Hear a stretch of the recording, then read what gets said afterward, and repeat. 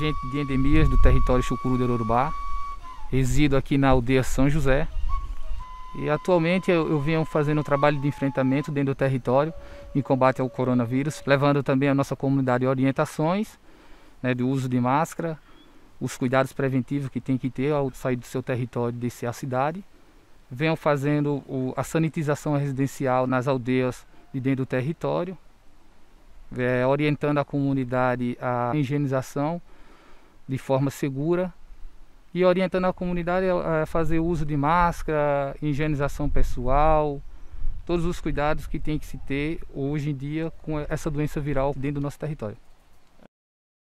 Tenho trabalhado diretamente no combate e no enfrentamento ao Covid-19, né, junto com toda a equipe, né, através das atividades de enfrentamento, que são sanitizações, né, orientações, né, cuidados esses com as comunidades, que vêm é, se dando diretamente com a integração de toda a equipe, né, no empenho direto dentro das ações de serviço. Minha, minha, iniciativa é para poder eu evitar que as pessoas que estejam ao meu redor, meus amigos e meus familiares, pegam essa, essa doença, o Covid-19.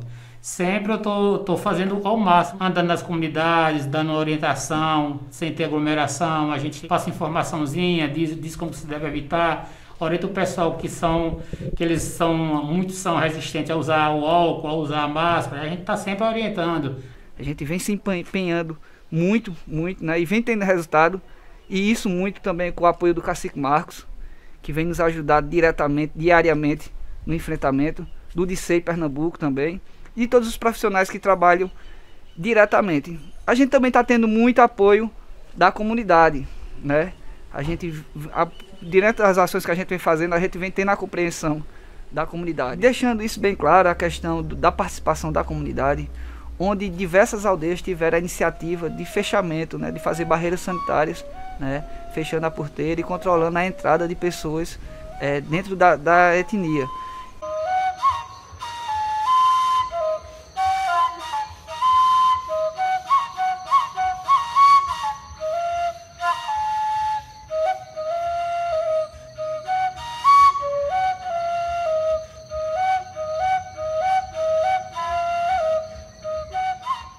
Essa barreira aqui que a gente fecha, não tem hora que a gente fecha, a gente não tem hora para sair não.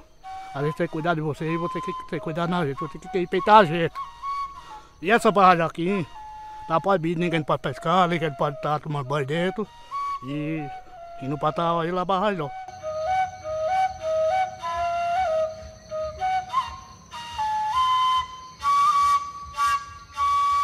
Além, de, além de, do, da confecção de máscaras, de aventais, né, da própria comunidade. E outro fato muito importante também é a questão da agricultura familiar, que hoje a gente tem a distribuição através da agricultura familiar de alimentos.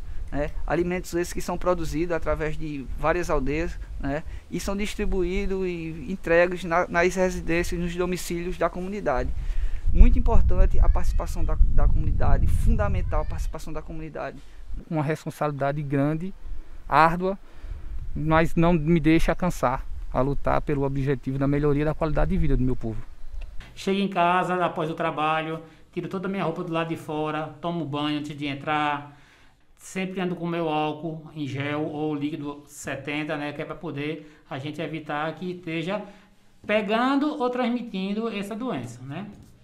Então, nossa juventude, nossos idosos, evite ir na cidade e sempre esteja se preparando, é, fazendo essa higiene para nos livrar desse, desse vírus. E a máscara principalmente. Bom, que a gente continue, né? Não desanime, vamos continuar na luta, batalhando. Continue tendo os cuidados preventivos, lavem as mãos com frequência, se for preciso, use álcool em gel, álcool 70, usem máscara, certo? Não, não fiquem em aglomeração em locais, em locais é, qualquer por aí. Façam de tudo pela saúde e a vida de vocês e as dos que estão próximos a vocês dentro das suas residências. Que a solução do, da, da, da Covid-19 é a própria população através da sua conscientização. Né? E também queria agradecer aos Encantos de Luz, ao Mestre Rei do Urubá, por toda a força, né, por toda a glória e saber que, que venceremos essa batalha porque caminhamos junto a Ele sempre. Nós não podemos desanimar, né, ter nossa fé em Deus, não podemos perder a nossa fé e nem deixar atingir o nosso psicológico. É isso que eu tenho que repassar para o meu povo e para a nossa juventude. Pela força e a coragem que Deus, irmão, para lutar.